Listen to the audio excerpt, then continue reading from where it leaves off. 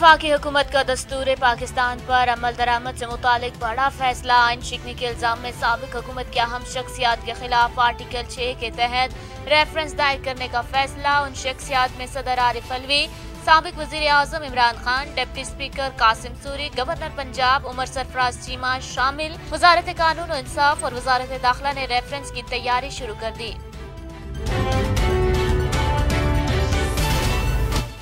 वज़ीर आज़म की जानब ऐसी पेट्रोलियम मसूआत की कीमतों में इजाफे की समरी मुस्तरद। विफाकी वजी इतलात मरियम औरंगज़ेब कहती है, पिछली हुकूमत की नालायकी नाहली और गलतियों की सजा आवाम को नहीं दे सकते, महँगाई ऐसी परेशान आवाम आरोप मजीद बोझ नहीं डाल सकते।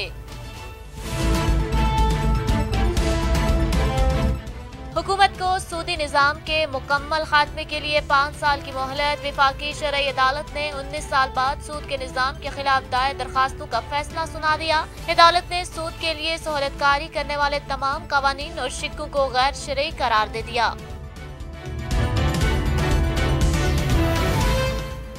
वज़ीर आज़म तीन रोजा सरकारी दौरे पर सऊदी अरब रवाना हो गए। वज़ीर आज़म शहबाज शरीफ, सऊदी वली अहद, शहजादा Mohammed bin Salman bin Abdul Aziz की दावत पर मदीना मुनवरा पहुँचेंगे। शहबाज शरीफ का वजारत उजमा का मनसब संभालने के बाद ये पहला गैर मुल्की दौरा है।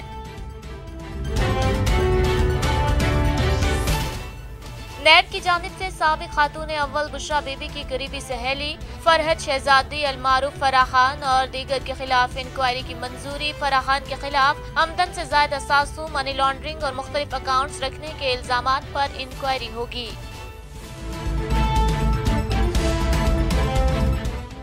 इस्लामाबाद की जुडिशियल अदालत की जानब ऐसी सिंध हाउस हमला केस में गिरफ़्तार पीटीआई के तीन अरकान ने सुबह असम्बली को रिहा करने का हुक्म। सिंध हाउस आरोप हमले के इल्ज़ाम में गिरफ़्तार एम पी एस की जमानत आरोप रिहाई के लिए दरखास्त की समात इस्लामाबाद की जुडिशियल अदालत में हुई।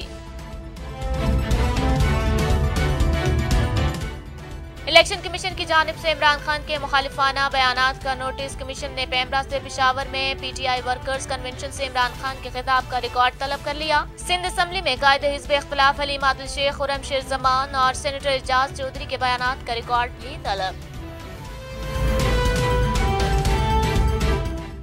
सेक्रेटरी पंजाब असम्बली मोहम्मद खान भट्टी की गिरफ्तारी। पंजाब असम्बली का इजलास 16 मई तक मुलतवी। इजलास मुलतवी करने का नोटिफिकेशन भी जारी। स्पीकर परवेज लाही कहते हैं डेप्टी स्पीकर के खिलाफ तहरीक अदम एतम आरोप कार्रवाई मैंने करवानी है और इजलास को मुलतवी करना मेरे इख्तियार में है।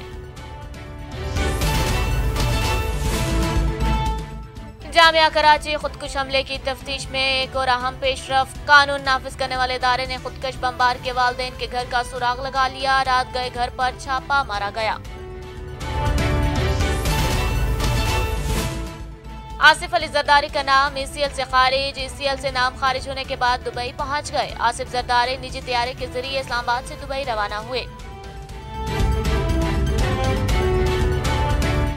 अदाकार आमिर खान हर फन मोला निकले, वो अदाकारी और हिदायतकारी तो कमाल ही करते हैं, ताहम। हाल ही में उनका एक और नया टैलेंट सामने आ गया। आमिर खान की बेटी इरा खान ने इंस्टाग्राम पर अपने वालिद के साथ चंद तस्वीर शेयर कर दी। लोगों को ये बताकर हैरान कर दिया कि उनका मेकअप उनके वालिद ने किया।